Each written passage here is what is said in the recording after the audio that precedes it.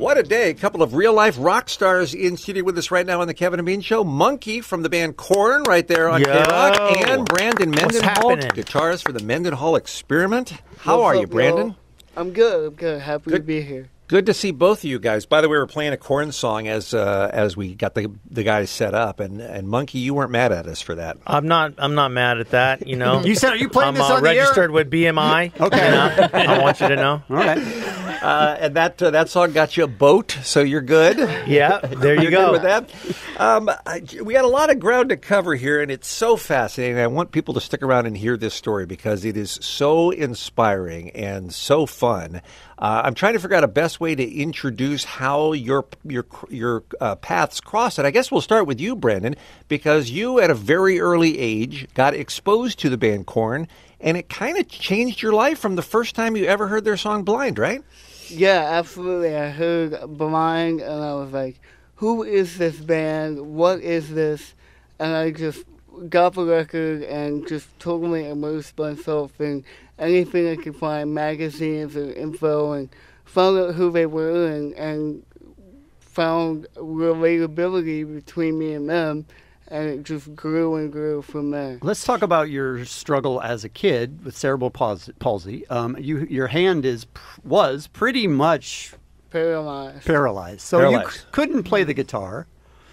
And but you really, really, really wanted to play the guitar and be in a band.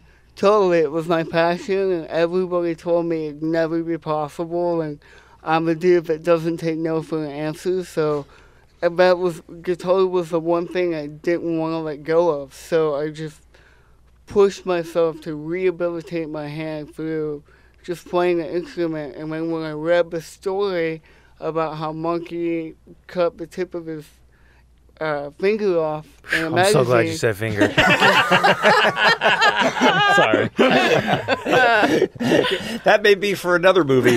um, let's let Munky pick it up there. What happened to your hand? Yeah, so when I was 13, I cut the end of my finger off, and um, it, it sort of drove me to, um, you know, I had to rehabilitate it in a way, uh, and the doctors kind of, uh, the the doctor who was a reconstructive surgeon said, "What about an instrument?" And I said, "How about the guitar? I love the guitar. I love the sound of the guitar."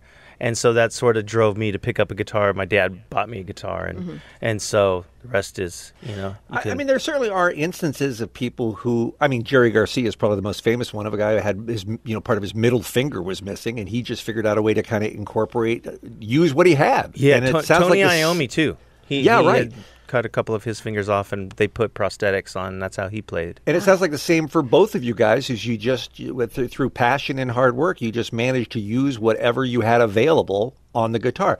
But it, it seems like, and I'm very. This is what's so, so impressive, Brandon, is you worked so hard for so long to be able to play the guitar because you don't have the range of all of your fingers being available to you on the neck of the guitar, right? Correct. My dexterity is not what uh, a normal guitar player would would have. So I tune my guitars to like a drop C, and then I play these flat chords all the way up and down my neck, and focus on songwriting. And I'm blessed to have an amazing band behind me to just kind of take my rough skeletons and build them into amazing tunes. Is it getting any better, or will it ever get better? It's it's getting better. It is, Like I, I find it, it. The more I play, the more I push myself. It's it's a slow build. yeah.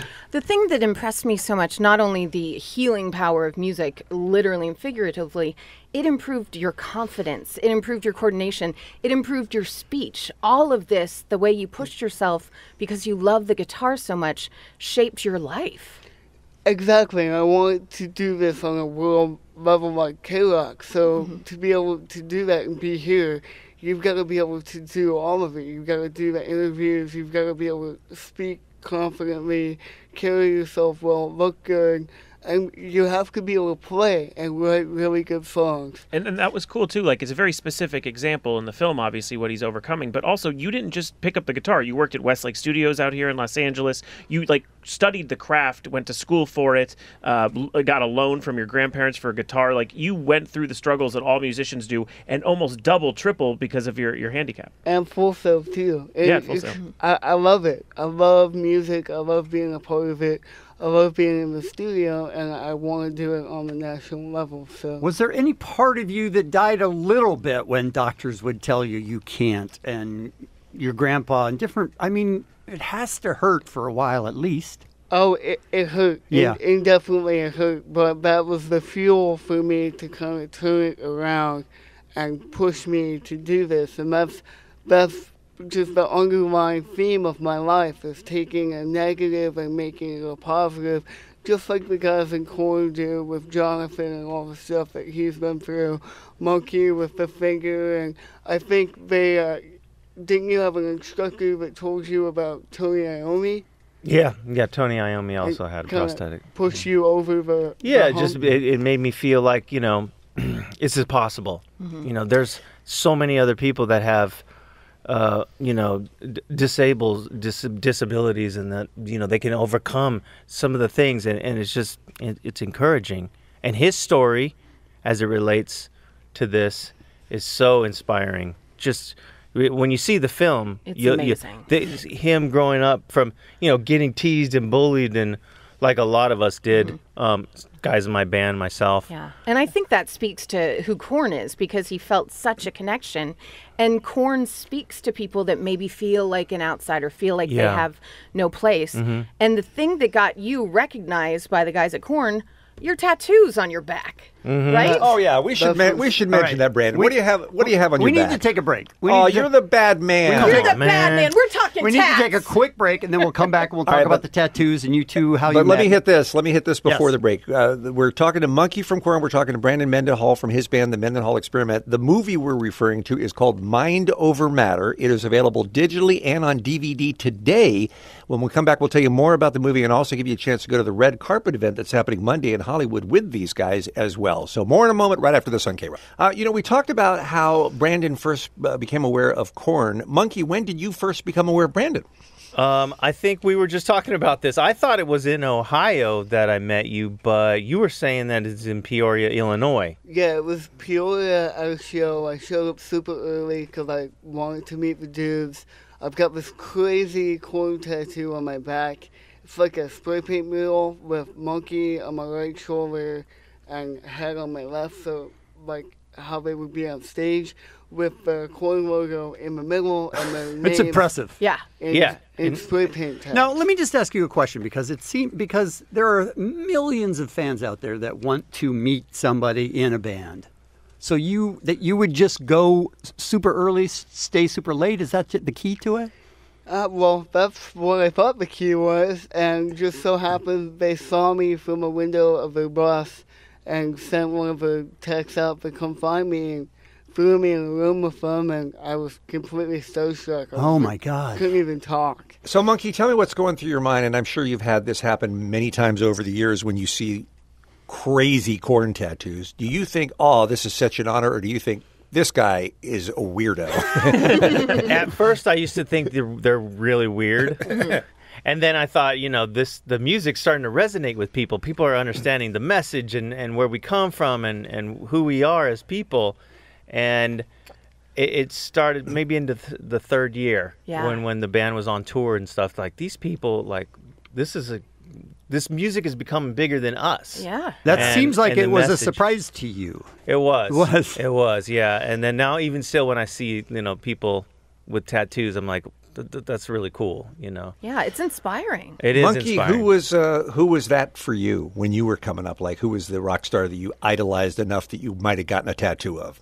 Um, I might have gotten a tattoo of uh, Steve Vai, or, or like because he was uh, such a big inspiration He's a for me. guitar god. He's just like he can make any emotion come through the guitar, and that is. And a have you become friends with him?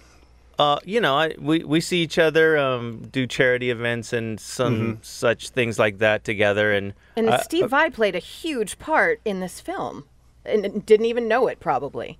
Right? With the guitar? Yeah, the guitar I gave to Munky was like the old Ibanez universe, but the ones they had were all beat up, and I had one that was pretty mint. and Steve signed it for me, but I always felt like it was better in the hands of Monkey.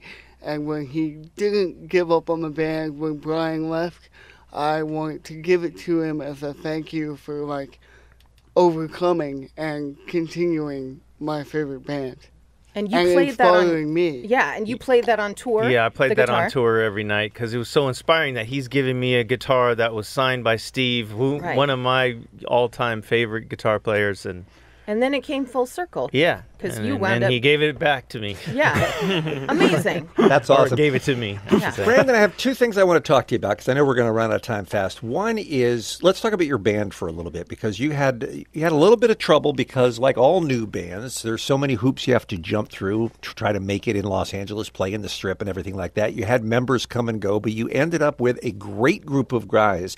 And your band is doing really, really well right now, the Mendenhall Experiment, right? You play a lot around town still? Yeah, we played last night. We played the Five Star Bar downtown LA. Th- That's fantastic, That's and, and you got a, and you got obviously you signed a label deal six years from the the day of your very first concert, which is amazing. Unreal. And I asked uh, if we could pull a clip because you're up on all the streaming services. I thought it might be fun to hear a little bit of the Mendenhall Experiment here on K Rock, and I think this is a little bit of the song called "Seize the Day." What do you want to tell us about it, Brandon? Uh, Seize the Day is like, you know, it's a single, but it, it's also kind of a mantra for us. Like, go out there and seize the day. Make make every day count because you never know when it, it, it's all going to be over for you. All right, let's hear a little of that.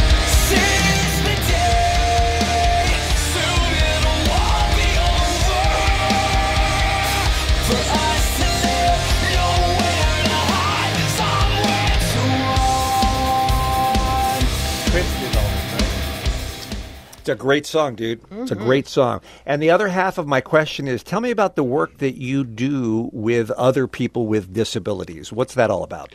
So I'm on the board of governors for uh, UCPLA, United Cerebral Palsy of Los Angeles, and uh, I'm basically just like an ambassador for uh, uh, people with disabilities. I go out and do as much charity work as I can to inspire and help the youth and anybody with disabilities and anybody that interacts with people with disabilities, trying to end the stigma that I went through growing up but like people with disabilities are much more capable than society gives them credit for. It's, it must be so strange for you to have been made fun of this for your whole life, and now you're on the other side of it, being an inspiration to other people who know what that is. Yeah, and, and that was my goal with, with the whole thing. T- take the negative and turn it into a positive. You know, one of beautiful. the most um one of the most in- interesting parts of the film is when you go to and your band goes to play with um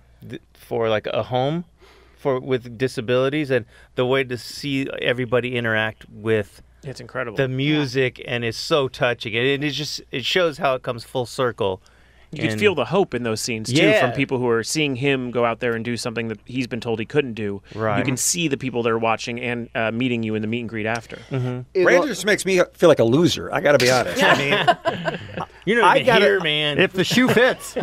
I got a ukulele last year, Brandon, and I'm convinced that I'm going to be a great ukulele player. Haven't made, haven't had one lesson yet, and I'm looking at what you went through to play the guitar, and I'm doing nothing over here. I just, I, again, I feel like a garbage person now. just play it. Figure it out. Just play it, Bean. Brandon, All right. he is saying aloha a lot. So I am saying that- aloha. Is Yeah. that Nice. a good way to get into the ukulele? I think start so. saying aloha. Uh, before we run out of time, Munky, tell me what's new with Korn. What's going on with you guys? we are working. I, I can't say. I'm not supposed to say, but it's really good. It's. So you're, You're- working. I you're in the assume that he's studio. in the Did I say studio. that? oh, oh, uh, anyways, You're in the studio. it's going to be out later this year. All right. Okay, whatever great. it is. Whatever, Whatever it is, sure. sure. Uh, and it's really good, and it's And then a it's in tour the process. maybe after maybe that. maybe tour With Keeping whatever it is. Pretty tight to the chest. with All right. other people Really? running around. and Okay. Open mic. What's the? Uh, with uh, with us. Yeah, there you go. Yeah, there you go. Oh, Why I see what you just Big did, announcement. Brandon. What's the event uh, Monday night, Munky? You're going to be there at the exclusive Yeah. VIP LA Red Carpet premiere of Mind Over Matter in Beverly Hills. That's right. We're gonna show the film to some close friends and celebrate Brandon's uh, success in all of this and show people his courage. And we're really proud of him. Okay. And like I said when you sat down, we've all seen the movie and we all give it all the thumbs up. So It's so Great. inspirational. it really is. so good. Yeah. Check this out, you guys. You're really going to love it. Munky, I know we'll see you again. Brandon, I hope we see you again as well. And congratulations. Continued success with the Mendenhall experiment. Thank you. Thanks, Thank guys. you.